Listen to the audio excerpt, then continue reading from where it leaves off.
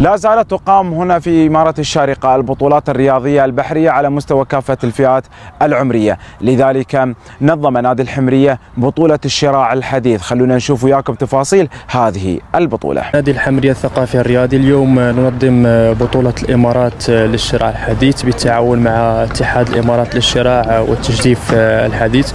هي بطولة محلية وكذلك على مستوى الدولة بمشاركة أندية حكومية وأندية خاصة. نادي الحمرية دائم على استضافة النسخة الثانية بالضبط من بطولة الإمارات للشراع الحديث. وهذه مناسبة للرفع من مستوى اللعبة وتطويرها في سواء هنا في منطقة الحمرية وكذلك على مستوى الدولة.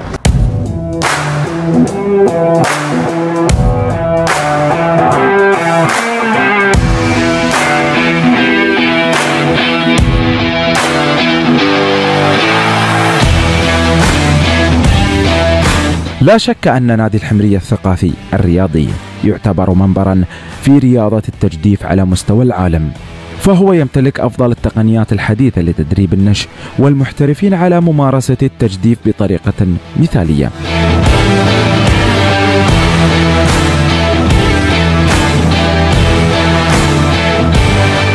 موعدنا في ملاعب الناشئة. كان هذا الأسبوع مع الجولة الثانية من بطولة الإمارات للشراع والتجديف الحديث بمشاركة ستة أندية من الإمارات وناد وحيد يمثل دولة الكويت الشقيقة.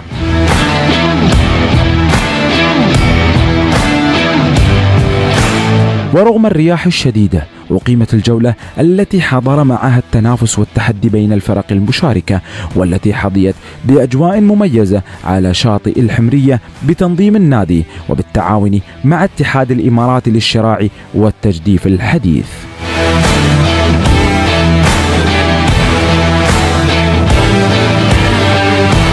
فريق نادي الحمرية وكعادته في كل بطولات التجديف التي يشارك بها حصد ثلاث ميداليات ملونة بواقع فضية واحدة وبرونزيتين.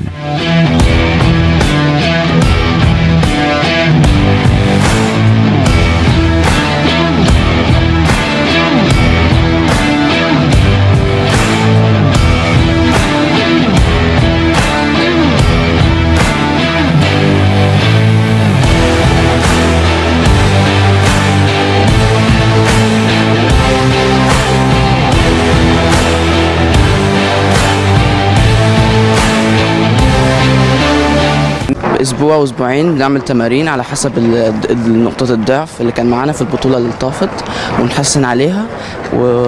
واليوم اللي قبلها بنعمل عليها نعمل تمرين شوية يعني بدري الصبح نجهز على كل شيء. وفي اليوم البطولة بن... في قبل ما ندش بنعمل عليها بريفنج ونشوف ال... ال... المشاكل اللي كانت فيها في التمارين اللي كنا بنعملها. هالمرة يعني بحاول نجيب مركز ونشوف. ندخل البحر نجهز يعني ندخل نسوي جولات ولا يوم نخلص لازم نشوف اللي سوينا غلط في البحر. اليوم إن شاء الله نجيب المركز الأول إن شاء الله ونشوف البحر شو يصير. أخذ لنا ممكن أسبوع أو أسبوعين عشان نجهز. نتعود على البحر نتعود على الهواء و وكي يعني نتعلم كيف اغلاط أغلاطنا وكيف نحسنها. وإن شاء الله نجيب مركز في البطولة.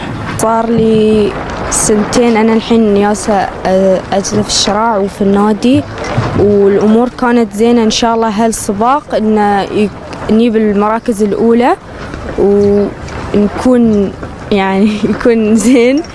و صراحة يعني في النادي إنه يدربونا عدل وزين ويعني نتعود على الامواج الكبيرة والهواء القوي.